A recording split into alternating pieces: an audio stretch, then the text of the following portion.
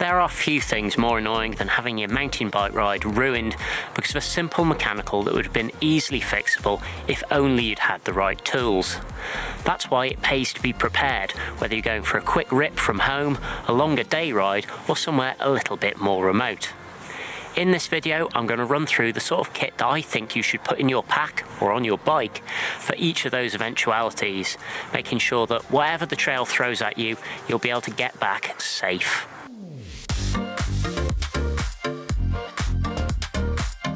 In this small pack is what I would consider the absolute bare minimum. It's what I take on every ride, regardless of whether it's just a short jaunt from the house or a little bit further afield.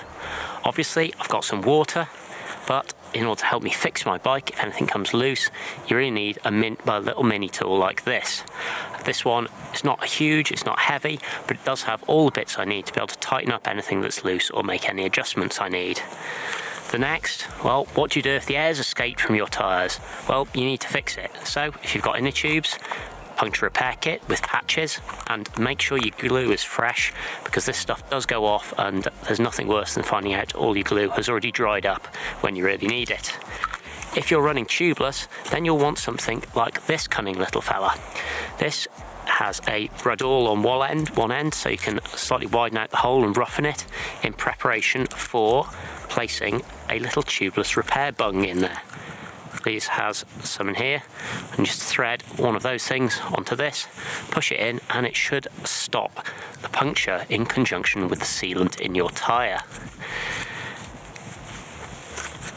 To get the air back into your tyre, I would say it's worth taking a carbon dioxide counter ideally a high volume one, so like a 16 gram or 20 gram item like this, because any smaller and you're unlikely to get enough air in your tyre, especially if you're running high volume tyres or you're running a 29er. Um, also, you'll need a little tubeless inflated bit, and whatever you do, don't just lob this in the bushes once you're done with it. Take it home that is about it. Um, I was throwing some tyre levers too, just because they weigh basically nothing. And if you do need to wrestle a tube off, you got that.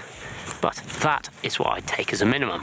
The other thing I'd always say that I take on every ride is my telephone. That's because if I do get into bigger trouble, I can ring someone. If I have an accident, I can do that. And of course, if I need to pose for any selfies or get KOMs on Strava, I can all do it via this.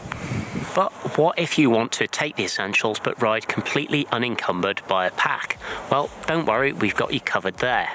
First up, you could use this small saddle pack. It contains all the things you'd need to take, but it wraps up neatly and then fits under the saddle using a dial to retain it. On some selected Merida bikes, there is also a special little pocket on the saddle here that slides a mini tool inside it, meaning you'll never be without it. Furthermore, there are these rather cool things that fit in the end of your handlebar. In this side, we've got a tubeless repair punch and also a little multi-tool. In the other side, there is a quick link plier that also has a magnetic retainer for a spare quick link.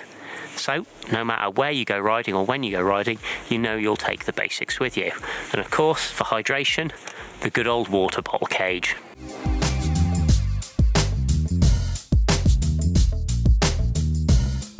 Now we move on to the day pack. This is what I take for a full day's riding, somewhere not too remote, but first up, I would take all the things we previously took, so multi-tool, tyre levers, tubeless repair kit, patch kit.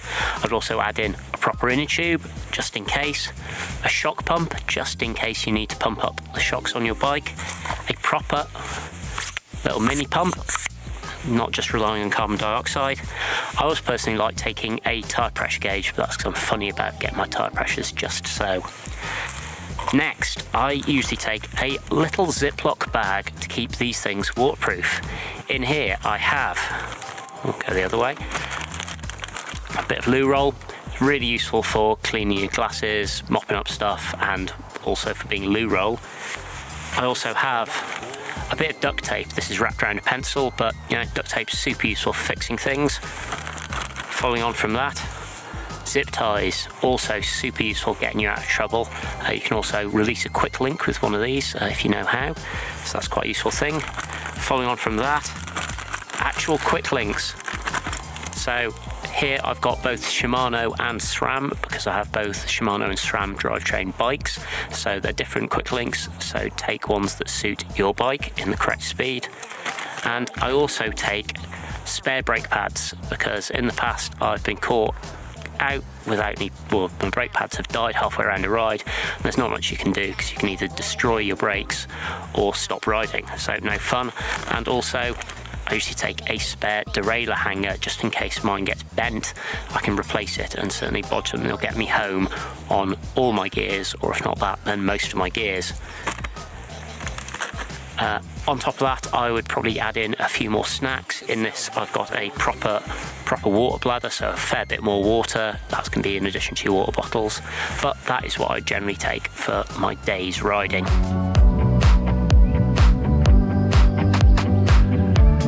So if you're stepping up from just a gentle day ride, you're going to go somewhere a bit more remote, or it's just a very, very long ride, maybe with poor weather conditions, then taking a big pack is a good idea. What should you put in it? Well, I'd say all the things that we've previously spoken about. If you're going somewhere particularly rocky, maybe consider a second inner tube. Right. First thing that I would say is to supplement your toolkit, possibly with a multi-tool like this. It's got a useful set of pliers which you can do an awful lot of bodging and fixing with, and knives, files, they can really get you out of trouble. A good quality set like that. I would also suggest that if you're going for a very long distance that you take a small bottle of extra lube. It'll stop your chain squeaking and your drivetrain will thank you for it. If the night's getting early or you potentially be out all day and into the evening, then taking a rear light is a really good idea. If you can be seen, you can be safe. And if you're likely to have had any mechanical issues, then you might be riding home in the dark, even if you'd not planned to. It's better to have this charged and in your pack and not need it. Right, the other thing I would say, may seem a bit apocalyptic to some, but is a survival bag. They don't weigh very much, but if you have an accident or one of your friends has an accident, then being able to get them in this and keep them warm and cozy until help arrives can make a really big difference between having hypothermia and being in serious trouble and not. So it weighs barely anything. Just leave it in the bottom of your pack. On a similar line, better plan for the worst and not have to do it but here is a first aid kit. So this is a fairly good mountain one. It's got everything you need. Of course, everything in this first aid kit is useless unless you have the knowledge how to use it. So I'd suggest going on a first aid course as well. Um, it's also worth just, you know, not everyone in your group has to take one of these, but as long as one person has got it and one person knows how to use it, you'll be fine. Additional things that I like to chuck in here, maybe a woolly hat, keeps you warm on breaks, extra set of gloves. If yours are wet and soggy, it can be really miserable, so having some dry gloves to switch into can be a bit of a godsend. And of course, as much food as you think you'll need, plus a little bit more. Anyway, I hope you've enjoyed this video and you find it informative and hopefully a little bit educational. If you've got any suggestions for things that you always keep in your pack, then feel free to let us know in the comments down below. If you've enjoyed the video, feel free to give it a like, and for more of this sort of thing, consider subscribing to our channel. Anyway, thanks, goodbye.